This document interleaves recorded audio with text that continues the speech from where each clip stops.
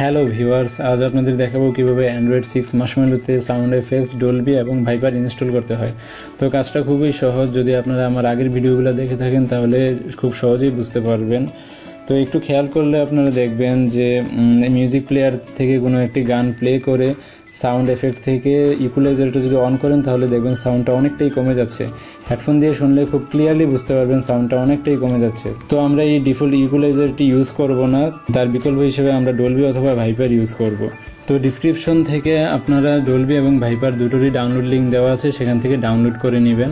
আর এই পুরো প্রসেসটার জন্য আপনার সেটটা অবশ্যই রোড করা থাকতে হবে। রোড কীভাবে করতে হবে সেটারও লিঙ্ক ডিসক্রিপশনে দেওয়া আছে, সেখান থেকে আপনারা রোটের ভিডিওটা দেখিয়ে আসতে পারেন। তো ডাউনলোড করা জিপ ফাইল দুটো সরাসরি এসডি কার্ডে রাখবেন Dolby Atmos Viper for Android তারপর রিকভারি টুলস দিয়ে রিকভারি মোডে চলে যাব। তো রিকভারি মোডে গিয়ে কি করতে হবে সেটা আমি বলে দিচ্ছি, সেটা দেখাচ্ছি না, বলে দিচ্ছি।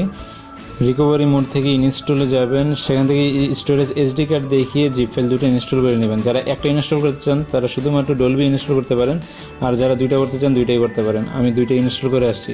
তো ইনস্টল দিয়ে রিবুট দিয়ে আসার পর আমরা ভিতরে গিয়ে দেখি এই ডলবি অ্যাটমস ইনস্টল হয়েছে এবং ভাইপার ফর অ্যান্ড্রয়েডও ইনস্টল হয়েছে। তো ডলবিটা আমরা ওপেন করলাম। তো এখান থেকে নর্মালি মিউজিক দেওয়া থাকবে সবসময়। যদি হেডফোন ইউজ করেন, তখন আপনারা কাস্টম থেকে জাস্ট এখান থেকে এটা একটু উঠিয়ে দেবেন। এখান থেকে এটা একটু উঠিয়ে দেবেন।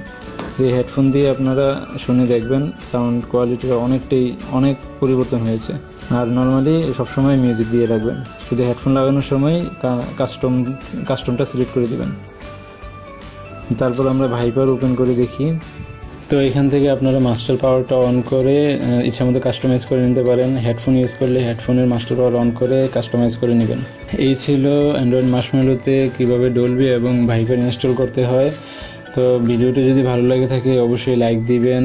আর পরবর্তী আপডেট পাওয়ার জন্য অবশ্যই চ্যানেলটি সাবস্ক্রাইব করে রাখবেন। ধন্যবাদ সবাইকে।